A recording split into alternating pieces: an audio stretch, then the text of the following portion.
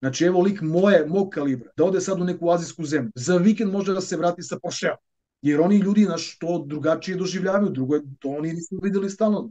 I onda kreneš da gledaš protivnike i kažeš, aha, argumentovano, ovaj je mogo da bude bolji od mene tu. A tog dana, i tih mesec dana posle bine, ti si kralj sveta, ti ne, niko nije bolji od tebe. Tvoj, ti u tvojoj glavi nemaš prostora da, da dopre informacije da si ti imao nedostatke. Jednostavno nemoguće.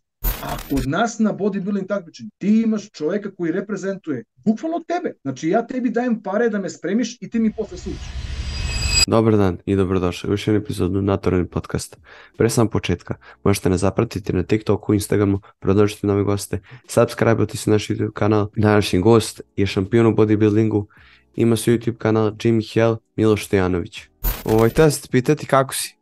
Dobro, brate, dobro. Ovaj, evo, guram, spremam se polako, ulazim u zadnjih mesec dana prepa, to je do takmičenja pa onda kreće kao taj intrasezonski deo pripreme koji je, kaži ga, malo ono, i opušteniji, i dinamični, zanimljiviji. Rekao bih da ovo sad što sledi narednih četiri nedelje je najjači deo posla, ali ono, jake sam glave, drago mi je da je sve ok na porodičnom planu, to mi je najbitnije svega, znači ako su ako je neko od klinaca bolestan ili nešto nije u redu s njima, znači to otežava sve za, za 300%, ali kad su oni dobro, dobro sam ja i ovo što radim mi pada mnogo, mnogo lakše, tako da sve u svemu dobro.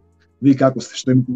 Pa znaš kako, posao, fakultet, podcasti, tako da sve je to nekako ono što se tiče obaveza puno, puno kapa, čeka se malo ne, da ono napravi sebi nekog oduška, ali dobro, guramo koliko god možemo i, i to je to, ne možemo da prestanemo tek tako, znaš, što bi se reklo.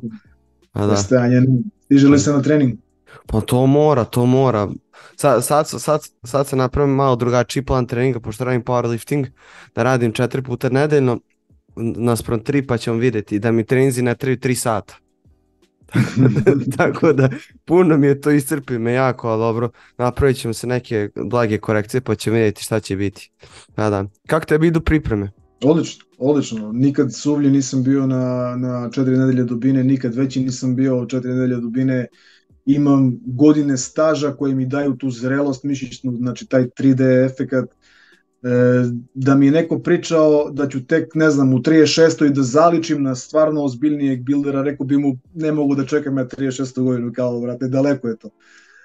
Ovaj, ali eto, došao sam, kažem ti, u taj neki stadijum života da stvarno uviđam tu, da to nije zapravo mit da bilderi prave, odnosno da stiču najveću zrelost tu negde oko 40. godine, ovaj, i kažem ti paralelno s time radim dobro taj, to što radim, jednostavno znam posao, znam da, da prepoznam šta trebam da radim i rezultati su evidentni, tako da zadovoljan sam veoma, drago mi je da kažem ti nemam tih preprekica koje mi inače stižu, Tako da evo ne smem ni da ne smem da ponovim to dva puta da ne bi da se ne bi nešto desilo. Da da ne bi urekao.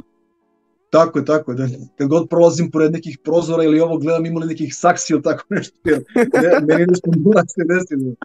Nisam ja, nisam ja navikao da mi, da mi pripreme teku tako glatko, ali svakako je, svakako je posao i svakako je izazovno i nije lako, ali da se, da se izdržati. Da, a mene zanima koliko, tako reći, staža imaš ovako u treniranju ili bodybuildingu? Ja sam, kažem ti, imam, evo, bit će za mesec dana, napunit ću 36, godina, a krenuo sam da vežbam sa 16.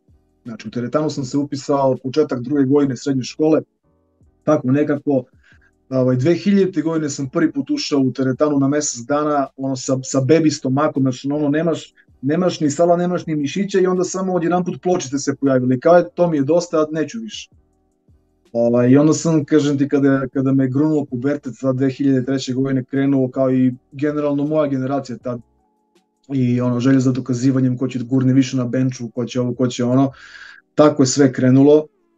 I prvu veću pauzu sam napravio 2007. kada mi je došlo preko glave sve to, znači jer jednostavno u tim godinama čovjek nema ni uslove, nema ni informacije, nema, nema kad, kad više nisam video ni cilj šta, šta radim u teretani, rekao sam, ej, ovo je dosta. I onda se u teretani pojavio jedan batica, samo je provirio ovako glavom kroz, kroz portal i rekao, ej, ako neko hoće da trenira američki futbol, neka se, neka se javi ovde, ja sam samo bacio, bacio bučice, završio trening, otišao gde, šta, ovo, ono, idemo dalje. Jer ja sam ovaj, mnogo voleo američki futbol, tad sam kao već par godina gledao Taj sport je bio mi jako interesantan i kada se u mom gradu otvarao klub, momentalno sam batalio, batalio bodybuilding, odnosno teretanu, jeli? i prešao, prešao u tu neku priču koja je trajala nažalost jako kratko i sve je bilo nekako, da kažem, bez veze, ali bilo mi je, jako, prijelo mi je ta pauza tog opterećivanja o, o brojki, koliko proteina, koliko ponavljanja, koliko serije, jednostavno bio sam slobodan neko vreme. Ovaj, i onda sam poč, i onda sam se i onda sam ušao u neku zonu gde sam gde sam se mnogo dosađivao u životu. I onda je umeđu vremenu došao internet i dostupnost informacija da se malo jeli bolje i brže informišeš i onda mi je počelo postajati mnogo toga jasno što na primjer neke stvari nisu išle glatko tad u, tim, u tom prvom periodu kada sam trenirao i dobio sam želju kao i ponovo da probam.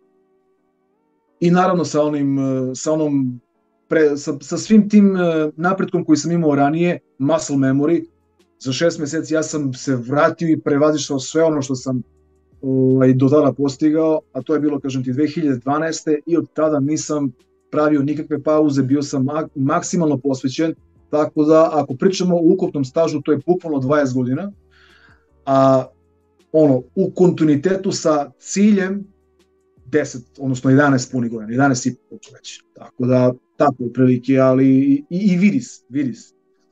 I po kosi, i po kosi, i po, i po, i po teksturi mišića. A mene zanima, kad si odlučio da se takmičiš u bodybuilding, kad si skonto da, da ono je zapravo ja sam dobro u ovome, zašto ne bi se takmičio u tome? Pa, pazi, ideja o takmičenju je došla vrlo, vrlo rano. Znači još u tom periodu kada sam ja bio pubertaš, mi smo kao videli neke sličnosti ortacija koji smo trenirali kada sam na prvi put odradio neku definiciju. Mislim, sišao sam sa verovatno 40% body fata na 15 i kao bilo je to ludilo. Znaš, iz one krmase čuvene, dečje, momačke u neku mini defku i bio sam preponosan na taj izgled, vratio sam ono, ne znam, neku Pazi, ja sam godinama težio ka toj masi, jer to je u, tom, u tim godinama jedino zanimljivo. Znači, samo masa, masa, masa, međutim, niko ne zna šta je zapravo poenta ovaj, razvijanja mase, nego samo da si teži, što manje detalja, to je to uklapaš se u taj profil. I onda sam, kažem ti, napravio tu prvu defku 2006. i kao, aha, evo ih te linije koje ima ovaj, evo ovoga, aha, pa kao, pa ovo ne bi bilo loše, razumeš. Međutim, u to vreme, sve da si mi rekao, ej, evo ti, ne znam, 2000 evra, spremi se i izađe na takmičenje, ja ne bih znao kako, kome da se javim, gde su takmičenja. Ljudi su bili odsečeni totalno, znači pogotovo ta manja mesta, manji gradovi, nije bilo interneta i nije bilo kontakata. Ja, ja i dan danas ne znam, ja sam, kažem ti, radio podcast pre tri godine sa ovaj, Peđom Petrovićem iz Logista. I, I baš sam ga tad pitao kao čoveče, znači on je, u tom vreme, baš, on je baš u to vreme bio u tom nekom svom piku karijere kao takmičar, kao kako ste vi uopšte dolazili do tih kontakata da se prijavite na takmičenje, znači vezani sam imao. A i kao to je kao stojalo kao neka moguća opcija za, za neku budućnost kao o tom potom i kažem ti kada sam se vratio 2012. bilo mi je jasno, znaš, kao ja ću, ja ću, ovo, ja ću ovo da probam pre ili kasnije, samo da, znaš, da to bude koliko toliko ovaj, dovoljno dobro. Znači nisam hteo da idem da se brukam, nego sačekat ćemo malo i bit će to sve. Okay. U to vreme je već ovaj, men's fizik kategorija imala dve godine postojanja i već je počela da se penje na ovaj, na toj lestvici popularnosti bodybuildinga. Ljudi su masovno krenuli da se takmiče baš zbog toga što je AFBB otvorio vrata momcima koji nisu 100 plus kilo i ne žele nužno da se takmiče u bodybuildingu, nego u nečemu što je, ajde kaži ga, malo lakše, malo opuštenje. I onda su tu nastale, ovaj, paralelno su tu bili na vrhuncu slave i uh, Jeff Side, uh, Sadik, uh, Lazar Angelov, to su sve te neke ovaj, to su sve ti neki momci koji su furali taj neki fitness model, men's fizik izgled i niko nije razmišljao o bodybuildingu. I kao ajde kada je već kriterijum toliko snižen za eventualni izlazak na binu, kao ne bi morao mnogo ni da čeka. I trenirao sam dve, dve i po godine, u to vreme i dalje prirodno naravno, i napravio pozamašan rezultat, baš, baš dobar rezultat, Ovaj, I kao mislim da je vreme da probamo, aj kućemo, šta ćemo, već sam bio ja u, nekom pri, u nekoj pripremici za leto, kako, što sam radio nečeg godinama unazad, znači bukvalno svakog proleća krenem sa tefkom i do 15. jula kada je godišnjica meni i suprugi, godišnjica veze, jeli, tu se završava devka, imamo neki ručak, ovo, ono i to je to, šta sam postigao, postigao sam. I u sred te pripreme ja dobijem informaciju da je da se da se organizuje neko revijalno takmičenje u Jagodini na u Aqua Parku. I biće kao fitness model kategorija, to je u tom momentu bilo pod otkriljem IBFF federacije koja je imala fitness model kategoriju, znači nešto kao men's fizik, samo što su bokserice, razumeš, znači isto su kao i noge bile bitne, ta estetska figura i to mi se jako dopalo jer sam trenirao noge komanije. I kao, aj, važi, probat ćemo, bit će to super, ovo, ono. I 2014. znači posle dve i po godine vežbanja, tog kontu, kontinuiranog vežbanja posle te velike pauze, ovaj, spremio sam se ne tako dobro naravno, izašao na svoje prvo takmičenje, konkurencija je bila ono spakovana, znači stacked, i nisam uspio da se probijem do finala, ono to je bilo bukvalno, ej, na šta, ja, ja sam dobar u svom komšiluku, ali da bi se takmičio sa ovim momcima morat ću još da radim. O, I istog trenutka sam se zaljubio u feeling, u, u, u prep, u, u peak week, u show day, u backstage, sve mi je bilo jako, jako zanimljivo, prepuno adrenalina i, nis, i bukvalno nije mi ništa padalo na pamet kao, ej, u fazonu kao nisam se probio do finala, toliko sam radio kao i ovo ipak nije za mene. Ne, ne, ne, baš sam, baš naprotiv, to me posteklo da radim još jače. I za Jagodina Open, koji je bio te jeseni, znači nekih tri meseca kasnije, dao sam gas, baš tisnuo i skinuo još, još dosta kilograma od te težine koju sam imao tada na toj bini i spremio se za svoje prvo pravo takmičenje i probio se do finala, ušao u top 5. Natural skroz. Znači, to je bilo u tom momentu kao, ej, super, još je Jagodina uvek imala tu tradiciju da daje medalje svim finalistima i taj, taj token uspeha za peto mesto je meni bio je nešto što nešto sam ja prepuno sam bio u tom trenutku. Dan danas zapravo. I baš, baš sam zagrizao udicu i znao sam da nema vraćanja. Nema vraćanja, jedno sam čekao narednu sezonu, narednu pripremu i tako sam i radio. Bukvalno znači ovaj, to, sa te jeseni sam krenuo u neki mali period mase, sačekao da prođe lupam nova godina i skrenuo se spremam za prolećni deo sezona. Ponovo to radio natural, opet kažem ti, cela ta, iz svih tih priprema izvukao sam, izvukao sam puno, puno informacije, puno toga, e, različite iskustva na bini, različite plasmane i svaki put je bilo ok i to je to, shvatio sam da ću to da radim malo duže vreme. Jer, jer, mi se, naj, jer mi se feeling dopao pre svega jednostavno kada ti znaš zašto se spremaš, ne samo da bi kao bio malo malo spremniji, malo zdraviji, malo lepši zbog sebe ili zbog bilo koga drugog. Ovako je već konkretno ovaj, imaš dva, zaista izgovor da, da, da, da, da se zguliš od rada da bi izgledao baš onako ovaj, nesvakidašnji. Da, jednostavno zavoliš, zavoliš te, te, taj ceo put, taj ceo progres ka nečemu, ne tu medalju jednostavno. Je to? Upravo, upravo, upravo. Znači, ono uvek sve u životu je journey, a ne, a ne destination. Pa da, baš to. Tako da, da, tip neki početci moji, moji builderski, odnosno takmičarski. A sad kad porediš takmičenja, kad si počinio i takmičenje sada, koja je razlika, na primjer, u organizaciji, u e, broju takmičenja, broju kategorija, kako to sve kad se poredi, kad si ti počinio i sada kad bi se, e, sad kad, kad ćeš se takmičiti? Pa znaš kako, u suštini, e, kada sad razmislim, ja sam prošao kroz ovih skoro 10 godina takmičenja kroz tri federacije. Krenuo sam sa, tom, sa tim IBFF-om koji je Jagodina organizovala, koji je imao, kažem ti, druge kriterijume, druge sudije, favorizovani su drugi momci, znaš, nekako je, posebna ekipa je bila, bila u tome. Naravno, ja za sve to nisam imao pojma, tek pošto sam posle skontao kako funkcioniše uopšte taj sistem takmičenja, bodovanja i tako dalje. Ali ono što sam primetio je da kada sam se prebacio u bodybuilding klasik, u moju matičnu ovaj, kategoriju koja mi je, sa kojom sam najviše uspeha postigao, primetio sam da iz godine u godinu sve manje i manje takmičara bilo. Znači, 2016. kada sam prešao, bilo nas je zaista puno u Jagodini. E, do državnog mi smo bili, ja mislim, samo četvorica u kategoriji. Znači, i onda i sledeće godine bukvalno nije bilo nikoga, kod mene u kategoriji, bio sam samo ja i jedan veteran koji je voleo da, da prijavi 15 kategorije. Novo voli čovjek bin. I kao ljudi, ne znam, ja se kao spremam ko, ko manija celo leto da bi se kidali, ne dođe mi niko. Nemaš sad, konkurencije onda, da. ok, ja sam kao sebe mogu da ubeđujem, ja sam ih rasterao update-ovima na Instagram. Ja te godine sam se, razumeš, razvalio od postovanja na Instagramu, znači, jer tad sam počeo da uočavam stvarno mnogo brutalne promene na figuri. Neka nova hemija uletela, na vreme počeo, telo bilo spremno i onda kao gledaš svake nedelje nešto novo, ovaj, i meni jako dinamična godina, ta 2017. I bukvalno kad sam došao da se prijavim, ja jedini na takmičenju. Tek, ne znam, državno prvenstvo nas četvorica je bilo. I opet, prvi ko je do mene je taj matori koji je upisao 15 kategorija za kojeg nisam ni morao da se spremam da bi ga dobili. Kao, kao šta, šta je ovo? Međutim, kompromis da ta kategorija, da ta godina ne bude totalni promašaj, je to da sam se ovaj, šversovao i u polu tešku kategoriju. Znači išao sam i do 90 kila i tu sam očistio sve, tu je već bila malo jača konkurencija i to je nekako izvuklo da ovaj, ta, ta godina bude legendarna po meni jer imam 10 pobjeda u, u, u sezoni. Ja mislim da je samo Maksim Trzin a, imao jednu pobedu više od mene. Znači on imao 11 za jednu on sezonu. Imao, on, je za, on je za jednu sezonu imao 11. Jer je, Aj, on, bi imao još više, on je imao još više, jer uh, imao bi još više da je krenuo kad sam i ja. Ne, ne, on je jedno takmičenje, jedan vikend propustio. Aha, I onda nije imao, nije imao ovaj, kad da napravite, ali me posle dobio.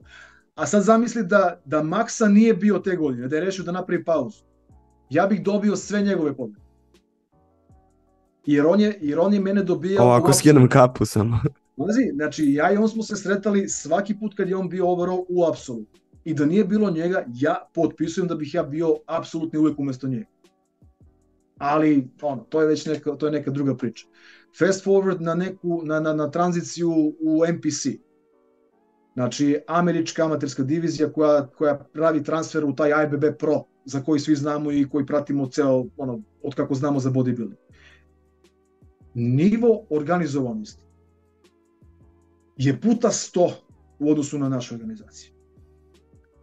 Uh, otud razlog što je sve mnogo skuplje. Znači ima mnogo ljudi koji su ovaj na svojim pozicijama koji fantastično rade svoj posao. Pričam od ne znam ljudi koji te dočekuju na prijavama pa do ljudi koji te dočekuju na ulazu u ovaj tu salu gde se sve to odvija, pa onda do backstage-a, do izlaska na binu, MC, sudijski panel je biran random metodom i ljudi dolaze avionom sa svih strana sveta da, da sude. I niko nema interes nikoga da gurne i da favorizuje.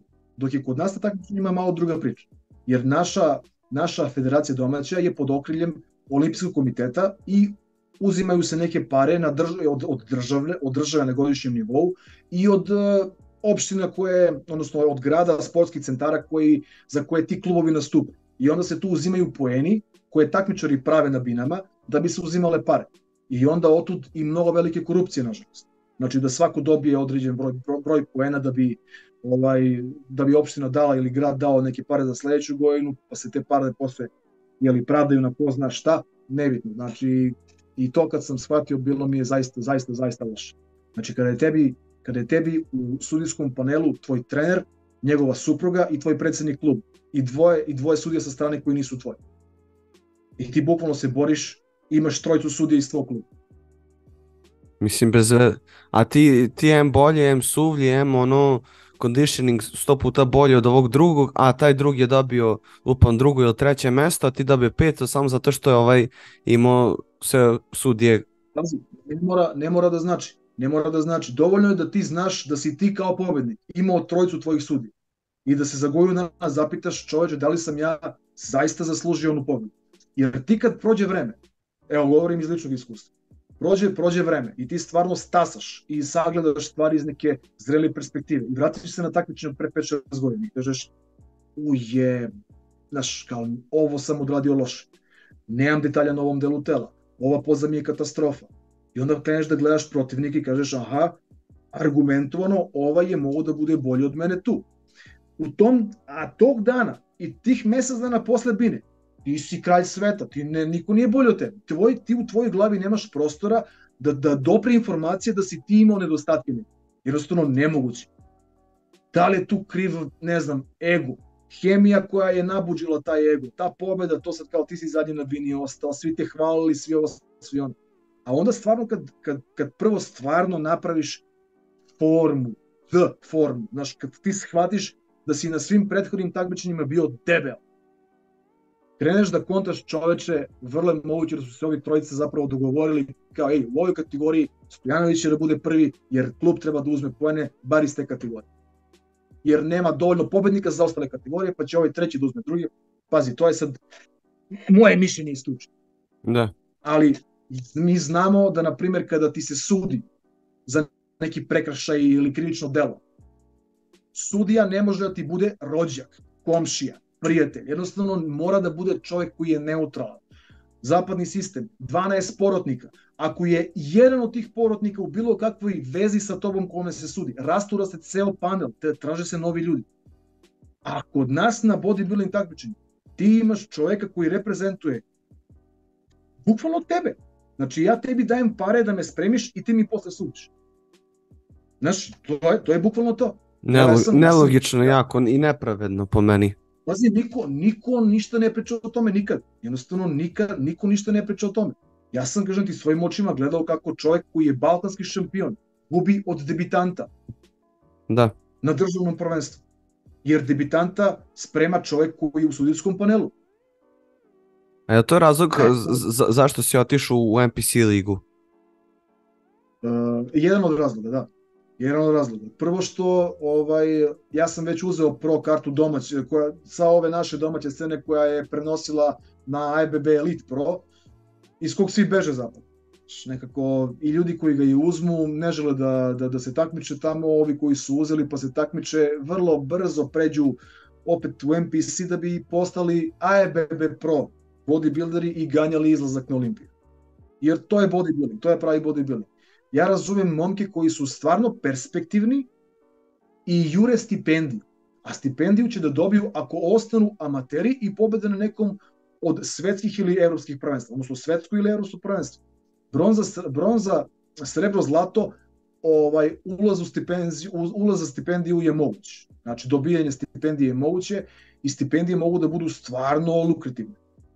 I onda potpuno razumem momke koji već znaju da su kalibar za svetska zlata, da ostanu tu gde jesu, overe državno prvenstvo u formama koje su krš, znači dođu debeli, pobede i onda tempiraju top formu za svetsko prvenstvo. I tamo, ako izdominiraju, čeka ih stvarno solidna, solidna stipendija i to je skroz ok. Ovo ostalo, znaš, druga stvar, ajde ja razumem, ja neki jači fond nagrada, pa da ti kao možeš da napraviš neku matematiku, ulaganje u sebe kroz, u pripremu, pa onda sad kao, ako eventualno pobedim, koliko ću da dobijem keša, da li mogu da se obajdim, ovo, ono, to sad može da bude argument za Jagodinu koja je stvarno jaka u smislu novčanih nagrada. Amatersko takmičenje koje ima fond nagrada kao pro takmičenje, to nema nigde sem kod nas. To je stvarno ogroman plus i Jagodina zato odskače od svih domaćih takmičenja za ne znam nijakoli i po kvalitetu takmičara, baš zbog toga što normalno novac privlači. Tako je bilo od uvek. I, ovaj, I onda mogu da razumem i argument ostati i u toj domaćoj federaciji zbog toga. S obzirom da Jagodina Plus i nije bodovno takmičenje. Nema smisla nameštati. I to je, i to je isto mnogo dobra stvar kod Jagodina. Što Jagodina nije bodovno takmičenje. Dok, na primjer, državno jesti. Na državnom se uzimaju ti poeni dok na, dok na Jagodin Openu ne. I onda ima smisla da dođe dečko iz Hrvatske, Makedonije, Bosne i da se bori za kintu, kao pro takmičenje. Mnogo dobra organizacija. Zaista, i zbog toga, kažem, odskače od mnogih takmičenja, baš, baš zbog toga. I ako je neko, ako neko se takmiči i dalje u u, u toj domaćoj federaciji Jagodinu ne propušta, apsolutno, osim ako mu nije preskupa kotizacija. Mislim, kada pogledaš koliko, koliko kintu daš na, na pripremu, 50 eura kotizacije je ništa, realno. Da. Tako da stvarno, stvarno, stvarno shout out za, za Jagodinu i za organizatore, to je, mislim, napravili su veliku, veliku razliku za njih par godina na, na sceni. A da, na primjer, može se živeti samo od takmičenja, od prip, te, tehnički od no, tog novca koji ti osvojiš upom u apsolutnoj kategoriji, nebitno u polu teškoj teškoj, da se može živeti od toga. Mislim, verovatno ode pola, to, pola tih para na, na pripreme i na put i na hemiju i na svašta nešto. Ma kakvi, ode, to, mislim, pazi, i da se domogneš do, recimo, prvog mesta u Jagodini, apsolutno neka bude. Ja verujem da, da, da, da neko ko je sposoban da osvoji apsolutno na, na Jagodin Open, kao što je Saša Lampaš, on, te, on je te pare već pojeo. Pojeo, ne ušprica, pojeo. Znači, on je pokrio tu možda samo hranu za taj prep. Da. Razumeš? Ali e, lepota ovog sporta je to što otvara mogućnosti za zaradu sa strane. Znači, svi smo mi treneri. U jednom momentu svako je držao personalne treninge. Ko je napravio malo bolju reputaciju na internetu, krenuo je da radi online. Neki momci su ovaj, zapalili iz inostranstva da se sve to plaća mnogo ozbiljnije. Ovaj, mnogi rade, mnogi rade mnogo toga što, što, što se kosi konkretno sa bodybuildingom. Znači, ne košta te ništa, ne znam, ako si već 120 kila mrcina da staneš na vrata nekog kluba. Ako već moraš to da radiš, ako ti se previše ne, ako te previše ne remeti u, u ovaj u oporavku i svemu ostalom, ali u principu, u principu zarada može da bude dosta dobra, pogotovo kad ulete, ulete ta sponzorstva, ako ih uopšte ima, i saradnja sa firmama gde ako se stvarno dobro pokažeš i ako si stvarno marketabilan, ti možeš da izvučeš dosta, dosta, dosta veliku zaradu iz tih ovaj, u tom asistiranju u prodaji tih proizvoda. Znači kupon kodovi su revoluciju napravili u toj fitness industriji. Mislim da više niko nema konkretno neko sponzorstvo gde, gde dobija pare samo zato što je lice firme, nego bukvalno mora da bude uslovno rečeno prodavac. Znači da ima svoj kupon kod i što se više kodova aktivira preko njega, preko, preko njega jeli, veća zarada za njega pričamo za taj neki naš, naš, za našu regiju, za svetski nivo verujem da i dalje postoji to, znači ako si baš, baš faca, ovaj, dovoljno je da, dovoljno je da, dovoljno je samo da si jeli poznati, možeš da dobiješ pare samo zbog toga što si uz neku firmu. Da. I to su, to su velike pare, znači na svetskom nivou to je stvarno, stvarno ekstra, evo baš ovih dana posmetram ovaj, momke koji se spremaju za takmičenje koje će biti sutra u Italiji, brate, za Regana Grimesa si čuo verovatno, dečko, dečko piša po sirotinji. Ja gledam kao stani bre po ovo, ovo, ja razumem, znaš da tebi treba neki komfor u pripu, ali da ti iznajmiš penthouse na pet dana u sred Milana, je, brate, proseravanje. Znači, penthouse tebe vodi lift direktno u stan koji je 300 kvadrata. Preterivanje. Uz njega je cura, ok, uz njega je videografer, uz njega je neki treći lik koji ne znamo šta je. Trener mu ga nema, trener mu je Miloš Arč. Da je mogo da krene, krenuo bi on s njim. Sve naravno o njegovom trošku. Karta za sve te ljude avionska, avi, avionska. Renta kar, verovatno. Sunjam da ga taksi vozi. Znam da je prošle godine kada je putovao ili preprošle godine, pratio sam u pripreme kada je, pro, kada je pobedio nezasluženo u Rumuniji. Dečko prošao celu Evropu takmičeći se. Svuda, znači renta kar, svuda ogromni troškovi. I to što je osvojio u Rumuniji, ne pokriva mu ni taj Airbnb koji iznajmi. Znaš, koji su ono izdaci?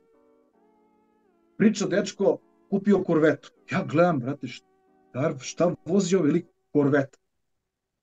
Znaš, u mojoj, u mojoj glavi koja je sve videla na ovom Instagramu, prva pomisla je, ma da, kao rentovao ga je zbog malo pregleda ovo. Međutim, ok, stoji meni u glavi to kao mogućnost. I on u jednom momentu kaže kako ga je neki bodybuilding fan iz Nemačke video da vozi korvetu, a pritom lik ima firmu koja pravi neke modovane delove za korvetu. Sup, za super, znači neke, da, da se ona korveta buđi. I on će sad da uđe u, u neki deal s njima, da on reprezentuje njih za delove za auto. A već ima verovatno neki masan ugovor sa ovim Yamamotom, Pa jebote, čekaj, je to realno bre? Hodajući sponsor, hodajući sponsor, brate moj, ti on. Hodajuća reklama. Hodajuća ja reklama. Ja to skroz kapiram. I sad za nekog, ja ovaj, volim da spomenem ovaj, e, brata ovog e, Mikal Krizo iz Slovačke. Evo ga, neko ko je nama relativno blizu. E, on je pravi primer nekoga koji je stvarno napravio sve pametne poteze i može da živi komotno od bodybuildinga i da to što zgrne od bodybuildinga da uloži u neke druge, u neke druge biznise koji će da mu donose pasivni kapital. Ima već svoju teretanu. Lik ne maši. Znači, gde god se pojavi, on kida. Ne verujem da mu je ispod 1000, 1002, 2000 eura guest posing za takmičenje, čisto sumnjam, plus naravno plaćeni troškovi ovaj, puta smeštaja, I on to može da radi cele godine. Nisam, nisam da se dobija pare za guest posing uopšte, nisam to znao. U, to, je, to je verovatno najjača, najjača stvar koju builder može da radi. Guest posing se ubedljivo najviše plaća. Eto viš, zanimljivo. Pogotovo, pogotovo u tim nekim zemljama koje, koje stvarno ne pitaju koliko to košta. Znači evo lik moje, mog kalibra, da ode sad u neku azijsku zemlju. Za vikend može da se vrati sa Porsche. Jer oni ljudi naš to drugačije doživljavaju, drugo je, to oni nisu videli stalno. Tako da i tu se zaista mnogo kinta može zgrnuti, ali to je rezervisano za 0,001% buildera na ovoj planeti. Što je krem de la krem. I ja, ja se tim ljudima stvarno divim. Stvarno im se divim. Znači, to su stvarno primjerci koji su izgurali džunglu. Znači, da ti, evo, malo pre sam ti spomenuo šta ti sve moraš da prođeš. Nepravdu na binama, prvo, ogromno neznanje, pa onda bliski susreti sa smrću, koliko puta se ti zezneš nešto, nešto zajebeš, izdehidriraš se, grčevi, ovo, ono, dok ti shvatiš šta si uradio sebi. Može bude kasno. Da. I onda dok I onda da se pa i posluži da te pogledaju pravi ljudi u pravo vreme, pa da na sve to ti imaš stvarno potencijal. I onda da skrpiš kraj s krajem za hormon rasta, za kvalitetnu hemiju, za mnogo hrane i da se nabuđiš na tu neku, na taj neki fizik, da to bude stvarno marketabilno i da pritom nabuđiš maksimalno socijalne medije, što je verovatno najbitnije od svega. Znači da ti imaš čoveka koji je plaćen debelo, da on tebi to buđi, da ti on to radi, da ti on to uređuje non stop, da bi ti mogao da ostaneš relevantan dug niz godina. Jer ti imaš mnoge koji su došli, zastijali i nema ih više. Jednostavno izgorili su, nema, nema, nemaju ljudi ovaj, energije za svo to cimanje, pogotovo kada vidiš da svake godine dolaze novi koje bukvalno algoritam gura u odnosu na ove koji su stari. I to je sve to zajebano. Ta ekipa koja je dostigla taj nivo, gde su znači, top 6 olimpici, top 10, devra, za njih, za njih zime nema. Za njih zime nema, ali to je to je stvarno, to je stvarno, znači, krem de la krem builder. Za yes. klasik fizik još manje, za klasik fizik još manje. Znači, Bumstead će biti tata svih, a ti koji su do njega su, znaš koja je frakcija njegove, njegovog uspeha. I oni će da se menjaju stalno, taj, taj koji će biti drugi, treći, četvrti, peti. Bumstead će biti taj koji je tata ikada i davno, pošto kaže dosta jer on je stvarno, stvarno izvukao maksimum od svojih karata koje su mu. Da, pa ma... Da to su, ti, to su neki momci koji stvarno mogu da, da znaš, koji su uspeli, uslovno rečeno, koji su stvarno, stvarno uspeli.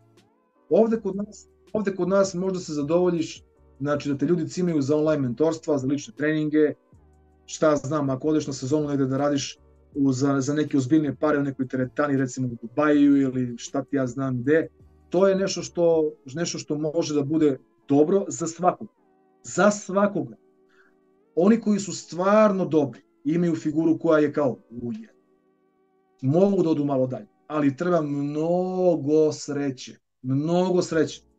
Znaš da u moru ljudi koji su u tome, baš tvoj video zakači oko nekoga koji izveštava o bodybuildingu, pa da te podeli na njihovi stranici.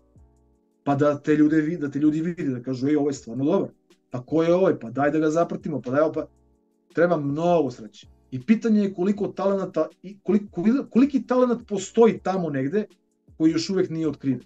Jeste, treba, treba kockice da se slože, da imaš malo sreće da bi se sve to skopilo i ono i savršen tajming i da imaš sreće, sve to, sve to ima svoje malo. Isto kao u bilo kom drugom sportu. Da bi si ti probio, da bi si ti istakao, da bi ti napravio nešto posle tog sporta, to, to sve treba i sreće i, i kockice slože, tako nije to malo šala, iskreno. Ma kakvi, to je, kažem ti, stvarno, ne znam, šansa je premala, ja kažem sebe, u sebi vidim potencijal za to, za taj neki veći uspeh, ali u isto vreme, e, pazi, da nije tog YouTube-a i da nije prepoznavanja mog imena i prezimena i mojih uspeha i mog znanja, ja bi davno verovatno batalio sve. Jer je mnogo veliki trošak. Ogroman je trošak. A opet, u mom slučaju, kada ja to spakujem u neki dobar video, ljudi vide i priču, i rezultat, i, i sve što to ide, znaš, vrati se kroz burazeru, dobar si, ajme spremaš za, za leto sledeće godine. I to je to. Na to se ja pozivam uvek. Znaš, to je meni taj neki calling card. Znači, ne jurim ja ugovor sa ne znam ja kojom sa, sa firmama za za delove od korvete, ne, nego da pomožem ljudima u svojim pripremama. Jednostavno to je nešto što najbolje radim i jednostavno svestan sam da smo na takvom u takvom području gde nema tih stvari. Jednostavno nema nema tih ugovora i snova kakvi su imali, ne znam, ovi koji su radili za Wade. Tako da to bi to o tome pa i da o tome da ti ne pričam, koje je ono ludilo bilo onih godina. Tako da, ali verujem, verujem da ako ostanem relevantan i ako mi kosa ne opadne prebrzo, da ću moći da, da, da, da, da trajem i dalje da budem zanimljiv i mlađoj publici i onima koji prepoznaju dobar bodybuilding. Moći ćeš još malo, moći ćeš još da guraš u prevodu, sve dok imaš još kose. Tako.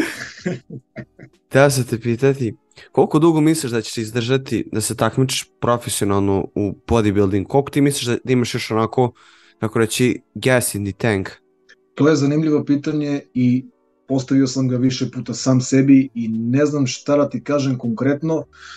Ovaj, mislim da je, kao što rekoh malo pre, ta neka 40. godina života, taj neki pik. E sad, konkretno s tim što ja nemam ovaj, te neke apetite da izlazim iz klasik fizik okvira, znači sa eventualnim ulaskom u Pro ligu limit bi mi bio 99-100 kg za znači, stage težine, što je stvarno mnogo, ako se spremiš baš i budeš ono ludilo lean i jedva prođeš vaku To je ozbiljna težina. I ja to ne bi pre, ja to ne bi uopšte ne bi uopšte prebacivao. I kada budem shvatio da više nije to to, da to više nije klasik, da sam ja previše izmučen i delujem previše matora. Jednostavno više neću da se cimam i maltretiram, jer verovatno bi tako stariji i izmučeniji bio bolji za Open. A za Open to je već ono, za, za moj neki, prvo što ja nemam ram za Open, ja nemam tu širinu prirodnu, te krupne kosti. I da ja sad nekom, nekim čudom dođem do, kaži ga, 110 kila, opet to nije ni previše, a za mene je to već alarmantno mnogo. Tako da, okvirno 45. godina je nešto što gde bi stvarno mogao da se pogledam i zapitam. Znači tek onda bih znao da li je to to. Opet kažem ti sve prema tome koliko, koliko se izmučim i koliko se istražim. Znači ako se meni u licu vidi da je mene zgazio taj sport, znači ako sam se već svukao ceo, ako ja delujem stvarno kao, ne znam, kao neki ratni veteran. Znači ja bio sam u vojsci i vidio sam ljude koji imaju 42-3 godine, deluju kao da imaju 60. I ako ja budem takav, jednostavno, sva, ne, jednostavno povući ću se preferabilno kada sam baš dobar. Znači, da, da ne moram da čekam taj downfall, nego jednostavno kada budem shvatio, ej, došao sam do neke moje gornje granice, smatram da sam tu, sve preko ovoga već postaje kontraproduktivno, može da bude kobno i po zdravlje, nema potrebe, ajde povuci se i pređi na to, pređi na ono što sledi. A to je upravo što radim i sad. Znači pomaga, pomagati ljudima da dođu do nekih svojih najboljih verzija. Računam da ću imati još više znanja, još više iskustva i, ne, i znaš, u mojoj glavi ja jurim taj Miloš Šarčev stan, status. Znači, cimao se lik, išao, maltretirao se jako puno takmičenja. Znači on je imao, ja mislim on ima Dexter Jackson ima najviše takmičenja s tim što je on najdužo se i takmiči. I on ima najviše i pobed. A za njime je naš Milošarčev sa ne znam koliko izlazaka na tim. Kada se povukao, nastavio je da radi kao trener jer je zgrnuo mnogo znanja u procesu. A, pročulo se za njega na vreme i evo ga čovjek sad, ono, stariji gospodin, 50 nešto godine ima, upošljen jednostavno preko glave. Kako on stiže da radi sa toliko ljudi, ja ne znam, ali radi jako dobar posao i verujem da mu je da mu nije loše u životu. Tako da ja se ja se nekako nadam tom statusu samo što bih ja pre da radim sa ovaj rekreativcima nego sa takmičarima jer veoma je naporno. Verujem. Spremati takmičare je verovatno 12 puta komplikovanije i napornije nego spremiti rekreativca, tako da voleo bih da mi ostane ime relevantno ovaj, i kada budem prebacio tu 45. godinu i otišao u penziju. Da smo živi i zdravi pre svega do, do tada pričat ćemo nadam se još koji put pa ćemo vidjeti da li je vreme za, za penziju ili ne, ali u mojim očima smatram da je pravo vreme tako neko, 45 godina dosta. Da. A koja tebi bila, uh, tako reći, tako reći da, da se prebaciš ovaj, iz bodybuilding uh, klasik kategoriju u klasik fizik. Pa pazi, isto je to. Isto je to. Više, manje više isto. isto. Kriterijum, kriterijum je isti, samo što je težinski limit malo veći. E, tra, tra, tranzicija koja je imala ono, totalnog smisla je prelazak iz mens fizika u klasik bodybuilding i kasnije klasik fizik. Da. I ja, kažem ti, to, taj početak moj je bio kao orijentisan ka tom estetika fiziku. Znači samo da to bude da bude lepo za oko, nema tu previše mišića, nema previše ludila, nema potrebe da se čovjek ovaj izlaže hemiji. Znači ako mogu ja natural da delujem lepo, to je to super. Međutim shvatio sam brzo da i mens fizik nije to što sam zamišljao da jeste, ono trebalo je da bude, trebalo je da ostane ta ti neke, ti neki mekši paketi, ono, kao za plažu. I smatrao sam da, da će te figure imati više šanse za ta neka modeling angažovanja van bina, pored eventualnih uh, angažovanja kao trener. Znaš, o tome se još uvek, o tome tad nisam još uvek razmišljao, više sam mislio kao, aha, tranzicija mens fizik, fitness model se prenosi više na taj modeling posle. Znači, lupam, donji veš, garderoba, tegovi, fotošutinzi u teretani, kao to, to je prava stvar, znaš, kao dobar mens fizik takmičar tu može da bude mnogo korisniji nego open bodybuilder koji je, brate, strvin.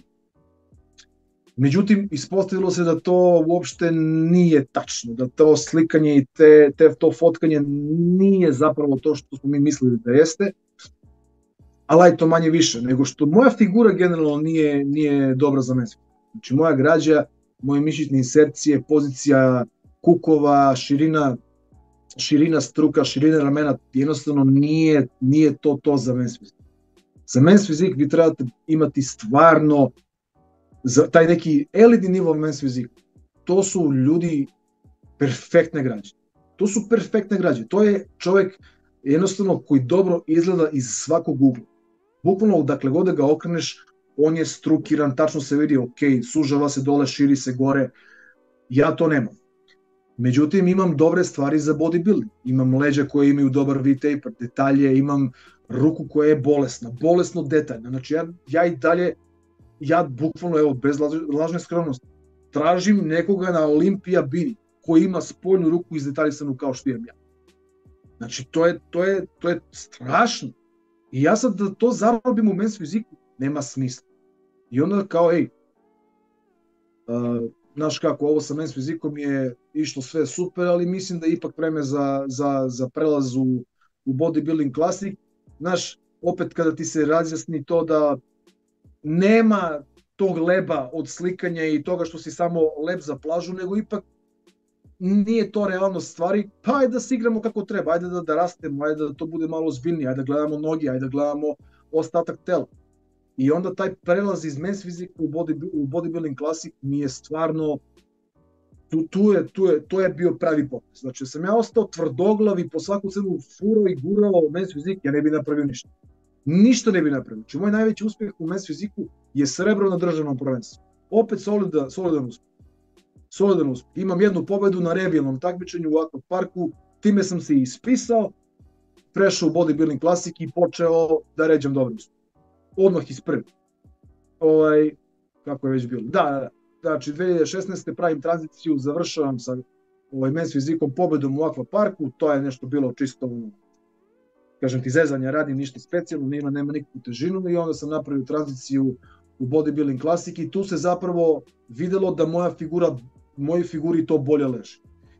I onda se to, kažem ti, posle razvuklo na ovaj malo ozbiljniji paket, te, ti detalji separacije koje genetski imam, su otišle na neki totalno drugi nivo i zahvaljujući tim detaljima, separacijama, ja sam puno pobeda izvukao preko momaka koji su mnogo krupniji, mnogo, mnogo veći od mene.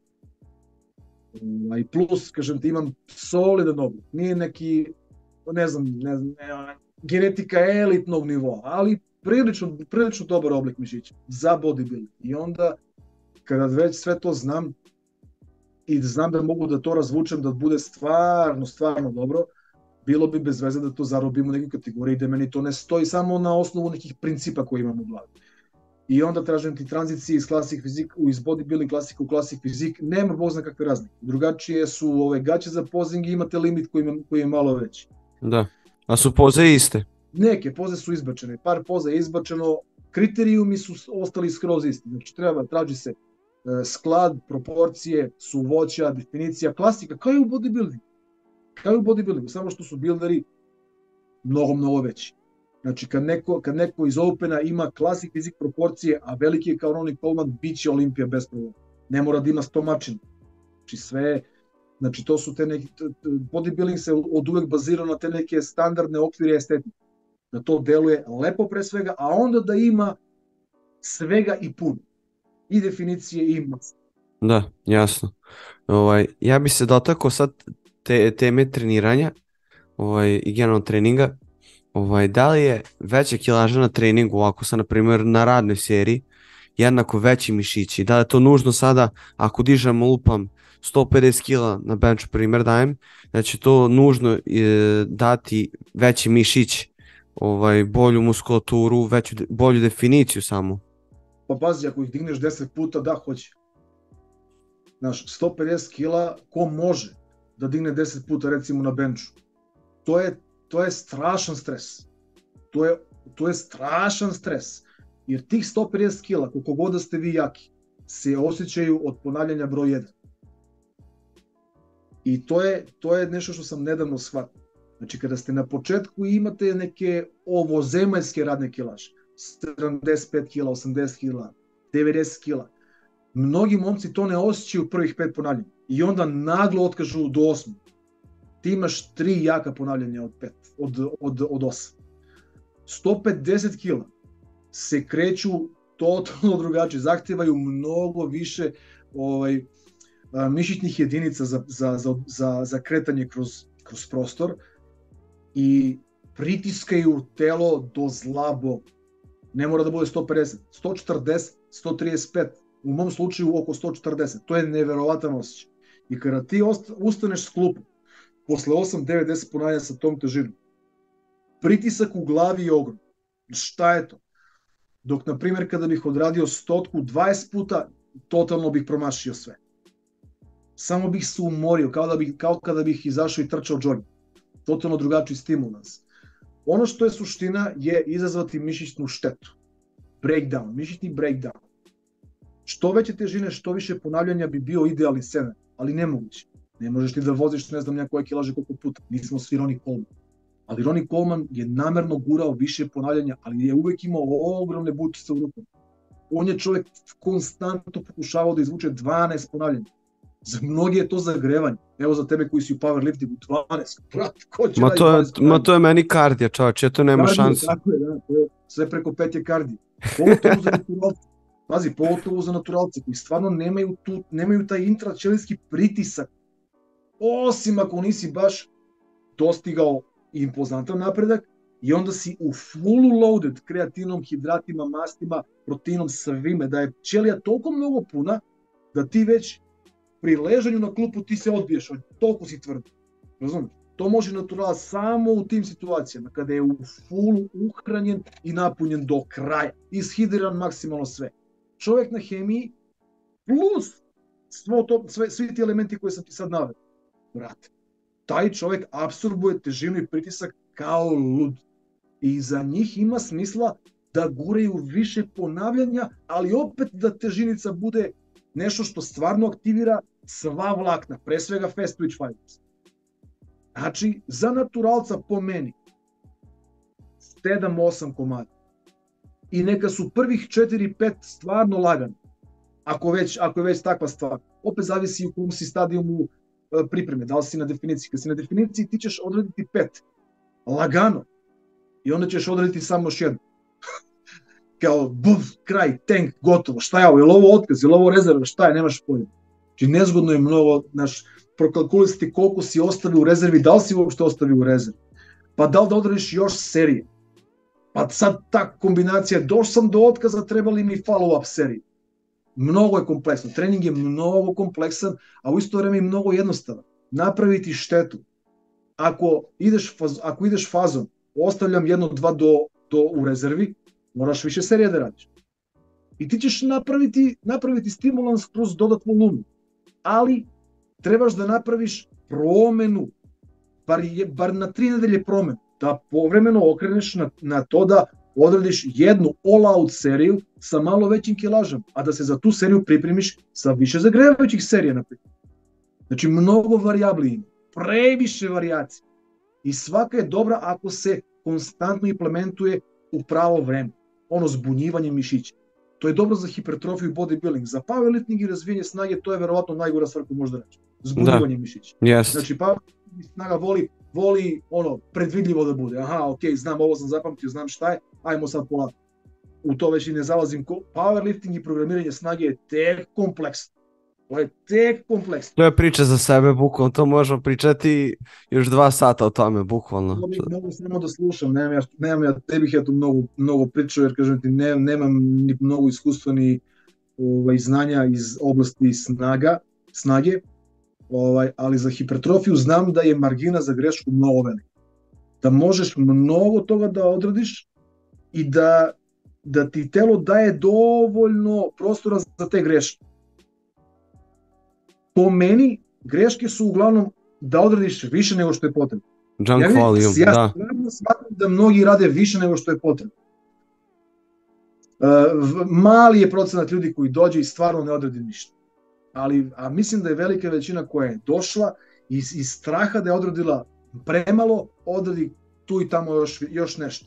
I opet, i sa tim greškama tebi telo daje šansu da napreduješ jer zna se adaptira, pogotovo ako imaš minimalne uslove, po, još bolje optimalne uslove za oporavak, jer oporavak kreće kada izađeš iz teretana. Tako da trening je jako, jako kompleksan i mnogi koji misle da ga razumeju, znaju da ga baš ne razumeju do kraja. Polazimo od sebe. Tako da osnova je napraviti štetu. Kako napraviš tu štetu, možeš da odabereš par opcija da radiš manje serija koje su intenzivnije ili da radiš više serija gde malo ostavljaš u rezervi i da prepoznaš kad je dovoljno. To je to. A ako je onda tvoje mišljenje, na primjer, o, o Mike Manceru samo jednoj seriji do čistog otkaza i možda čak i, i preko toga, da radiš e, trening na svaka 4 do 5-6 dana. Da je to uopšte produktivno, da je kontraproduktivno, da li ima smisla to, e, a, mislim, ono, probavati u treningu, mislim, verovatno to nema smisla za, za neko ko tek počeo u treningu, nego za naprednije? Pa znaš kako, ispada da je baš za, za te koje su na početku. Jer i Mencera, slušao sam njege, neke njegove ovaj, ovaj, ne seminari, ili odakle god su vađeni ti audio snimci, on je kao početnik tako i radio. Tri treninga nedeljno, prođe celo telo, ima top set za svaku, za svaku mišićnu partiju i tako fura dalje početnicima verovatno odgovara frekventni trening jer uslovno rečeno manje toga, manje materijala imaju za oporavak pa se kao i brže oporavljaju, s tim mogu da podnesu veći volumen na nedeljnom nivou. S time se donekle slažem. Ali jedno moramo da uzmemo, da je Mike Menser bio pikavac, da je Mike Menser bio mali, da je Mike Menser imao malo mesa na sebi. Nije on bio slab, nije on bio, ovaj, neću da kažem, mršav, daleko od toga ali u odnosu na ludake koji su trenirali 4 sata dnevno u ono vreme, on je realno bio, on je generalno mali čovek. Je metar šumska jagoda i on deluje ogromno. Međutim, on nije ogromno. I ja sam gledao njegov snimak, taj heavy duty. Brate, šta je ono heavy u tvojim rukama? Ništa ono nije heavy. On nije dizao ništa heavy, on je smešno, brate. Kao čekaj, evo. Mislim, ono, kad on kaže da diže teško, ja pretpostavljam da diže neke abnormalne kilaže. Pazi, ja ono što sam video je tipa mind and muscle. Znači koncentracija da on pogodi mišić tema, to ne može da bude teško. I ta greška sa mind and muscle-om može da bude, uh, mislim, nastaje greška kada ti kreneš da se previše koncentrišeš na kontrakciju, umesto na to da ti kroz load, odnosno težinu, aktiviraš više jedinica mišića. I ljudi se mnogo, mnogo zajebu s te strane. Znači ja sad, brate, koliko sam, kažem ti, povezan sa mojim živcima mišića, ja mogu da stisnem koliko hoćeš ovaj pek da mene zaboli. To je prazna kontrakcija. Opet tu treba intenziteta, treba težine da, da bi nešto i uradio i osetio. Treba, da me, znaš, da ja, da, da, da ja ono, osetim da bude to heavy, da bi ja aktivirao sve te, sve te mišiće kako treba, na pravi način.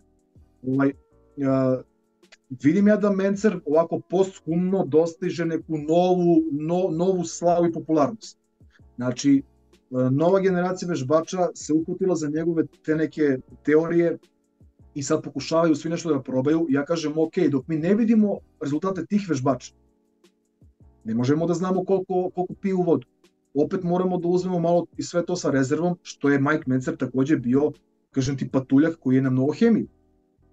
Plus, verovatno, genetski obdareniji nego mnogi prosječni rekreativci sa naših podneblja, kada je u pitanju, na primjer, sposobnost da se uopšte razvija mišićna masa. Znači, on je tako mali imao ruke koje su malo veće nego moje. Ako se, ako, ja, ako se ja dobro sećam, njegov maksimalni obim je 46-7. Ja u treningu sa ovim procentom masti imam 48 ruku. Mislim, ono, da. Znači, ja sam ovakvi, ali pazi, ja imam veću građu nego Mike Mencer. Ja sam krupni, ja sam za glavu veći od Mike Mencer. Da. Pa čini se kod da je, kod da je veći, a zapravo nije toliko velik. Da, da, da. Pazi, to je, lik je pikavac. Znači, ne znam, ljudi koji su 1,60 m i slikaju se konstantno u liniji ovaj, sa grudima, deluju kao da su strvine. Pa svaki nelbo ovih momaka back to basics deluju kao kad su po, po, po 150 kg, To su momci kao gimnastičari, veoma spremni, ali su, brate, manji, ali taj ugao donjeg, ovo, kada snimaš od ozdo, deluje kao da je lik, ne znam nekoliki, pogotovo kada okreneš poluprof, Sad da, te ja, da ti ja ovako stanem i mrnem glavu malo nazad, ti ćeš da ti jebote koliki lik. A ne, brate, to su uglovi. Znači, to je sve, to je sve percepcija, ja ti mogu, kažem ti, mogu ti stati... Igra, u, igra uglova. Meni došao Mirnes, meni došao Mirnes u podcast. I dečko se skinuo bez majice i sve ovako. Je, a daš, sisao mu ovolika, sisao mu već od glave. Ljudi odlepili, brate, ja ovakve grudi nisam video još od Arnolda ovo ono. A trebao je da uradi samo ovo, ko sad ja. I odjedan put, znaš, totalno druga, glava mu uletela, ramena su mu pozadi. Ali ljudi ne kapiraju sve to. Isto i Mike Mencer, Znači imamo, mislim, pazi, ti nemaš lošu sliku Arnolda. Ti nemaš side tricep Arnolda. Ti, ti da, sad da prevrneš sve, ceo internet. Ti da nađeš Arnolda gde, gde, gde je pokazao side tricep pozu. Nemaš. Nemaš. Ti imaš samo dobre Arnoldove uglove. Gde je on ispao loše? Nema šans. Či on je, kažem ti, ja garantujem da je on uticao da se sve loše slike njegove očiste od interneta. Znači, to on nema loš snimak čoveč. Ne sve da ima loša slika ili u njemu nikako. Znači, samo ili su dobri ili, ili ih nema. Da, da, da. Znači, to je nevjerovatno. E, ovaj, kažem ti, za, za Mencera i tu celu filozofiju treba da se proba. Ali opet, vraćam se na ono, na ono malo. Suština je izazvati mišićno oštećenje. Kada se desi do mišićnog oštećenja, moraš da znaš da za oporavak tog mišića treba nekoliko dana. Mike Mencer je rekao jednu stvar koja je meni zanimljiva i, i nemam odgovor na to. Je da trening sledećeg dana remeti oporavak partije koja se trenirala juče. Znaš, Ako si recimo juče trenirao leđ, e, pardon, grudi, one su, one su agoniste u odnosu na leđ. Znači ti naravno treninga možeš da radiš pregibače bez problema, grudima to neće smetati. U smislu da ćeš sad njih nešto da remetiš, da će da te boli, da ćeš da... Ne, ali on je rekao da samo maltretiranje u teretani narednog dana kada ti se grudi oporavljaju, remeti njihov oporavak. Ja mogu da se složim zbog toga što fiziološki oporavak je nemoguć u stanju, u stanju gladovanja i za vreme velikih stresova. U momentu kada tebi telo prekine da dostavlja nutrijente u ćeliju, prestaje oporavak.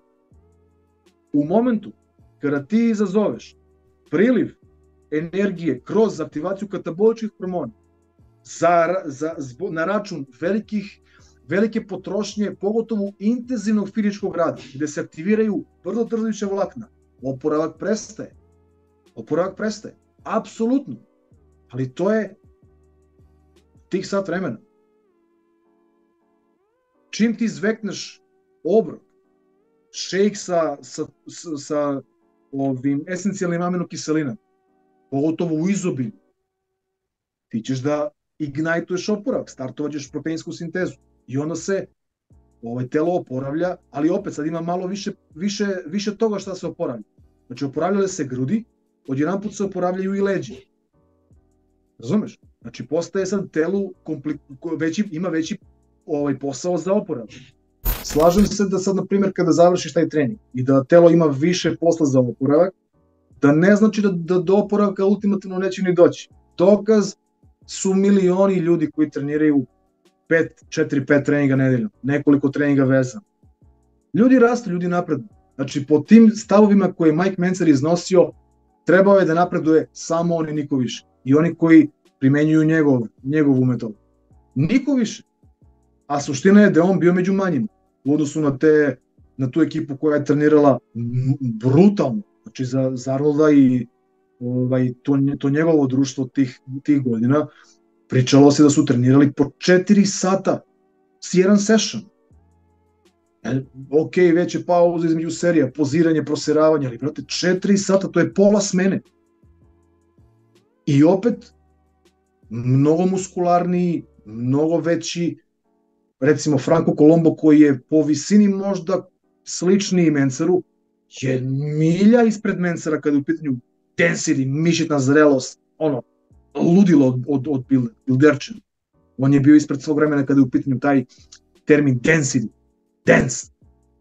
I on isto, kažem ti, powerlifter imao je dosta, dosta veliku snagu. I on je dizao težinčine koje su zastrašujuće. I Mencera mogo da, da nosi u kak, mali prst kad je u pitanju težina i intenzitet koji je on dizao. Znači, opet moramo da uvek uzmemo sve sa rezervom da postoje argumenti koji mogu da lako da, da, da obore te tenzije koje oni imaju. Najviše od svega što stvarno ljudi napreduju. Ljudi napreduju, evidentno je. Evidentno je. Znači, mnogi su napredovali mnogo. Hvatam se za nekog ko je frik, na primer, ono, za njega ćemo da kažemo, a pa on je frik. Um, obre, kako se zvaše čovjek, Viktor Richards, svaki dan, bez pauze. Trening svaki dan bez pauze. Čovjek je bio zaljubljenik u teretanu. U teretani mu je bilo najlepše, samo je tamo bio svoj u, u full. I on kad završi trening, to je njemu horor bio. I on je morao da trenira svaki dan. I jedan Mike Mencer njemu nestaje u desni kvad. Znaš koliki je ono čovjek bio. Ali jednostavno generic freak. Jednostavno da. nedostatak miostatina, mnogo više hemije, mnogo više hrane, ali opet evidentno Batica je zver.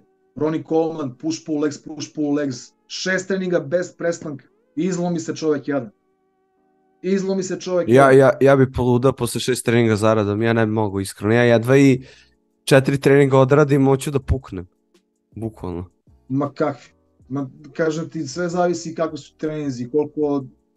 Šest treninga može da bude stvarno super, ali ako baš, baš rašlaniš više mišića onda daš e, fokus na jedan mišić, odrediš ga za 45-50 minuta, stvarno može da bude prijatno. Ja sam, kažem ti, kao mlađi jednom eksperimentisao, radio sam bukvalno samo jednu partiju na trening. I toliko mi je trebalo. 45 minuta, 50 minuta sa komotnim pauzama. Dođem danas, radim samo biceps. Dođem sutra, radim samo triceps. Znači, uh, bilo je, ali to su trenzi koji su lagani, onda fokus je totalno u tu jednu stvar i to je to. Sad kad uđem petak, gornje grudi, ramena, biceps, triceps, brate, ja crknem, ja, ja sam gotov i onda uvek moram da dam akcenat na nešto. Ne mogu da dam sve, da, da, da sve otkinu. Nema šans.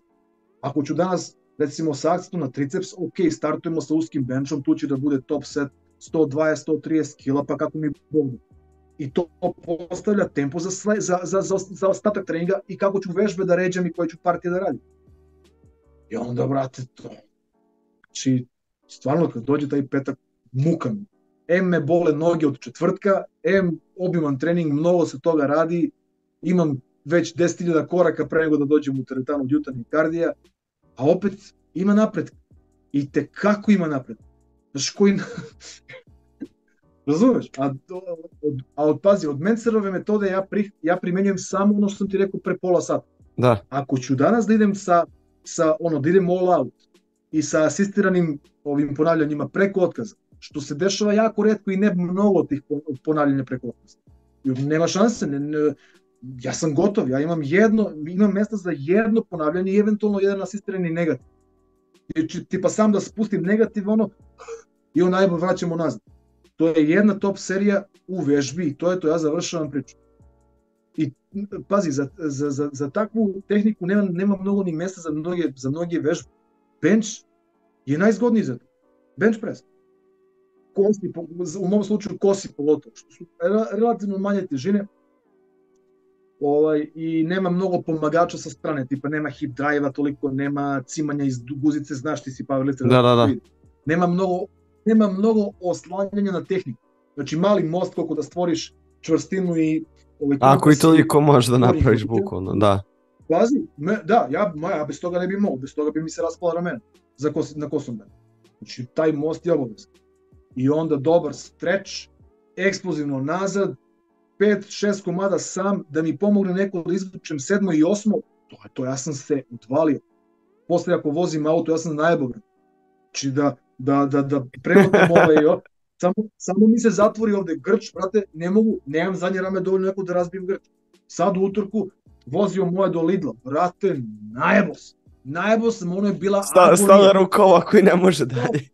Psovao sam, psovao sam i ženu i decu sve, a sad ste se setili da vas vozim, ne, ne, jedva, znaš, bukvalno uhvati me grč, pa pusti desnu ruku, zavuči me ovako, znaš, pozadi, vozim levom, da treba da menjam, da menjam, da menjam brzinu, pa kao, ajde, Bože pomozi, malo samo, kako vratim, tako mi se sklapa, ali se otkinem, otkinem, pa se pitam opet, da li sam preterao? Koliko sam odradio? Tu jednu top seriju do otkaza, posle sam išao follow up na mašini, cable crossover, kraj ukupno tri, četiri radne serije za, za, za Sisu. I grčevi nerealni, upala strašna, upala trajala do petka. You know, Komodno. Da. Da, da, da, i svaki put tako. Svaki put tako. Znači uvek imam neki, uvek, da, uvek je to šok. Uvek je šok. I kažem ti, ako sam već tako rešio da radim, to je to. Par nedelja tako, pa onda par nedelja sa blagom rezervom, a serija više. Blaga rezerva, serija više napredak brutalan. Da. Napredak prebrutalan u ovim godinama posle toliko godina treniranja i svega.